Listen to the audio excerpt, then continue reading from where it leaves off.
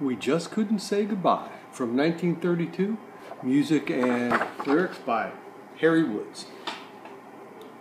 We thought that love was over, that we were really through. I said I didn't love her, that we'd begin anew. And you can all believe.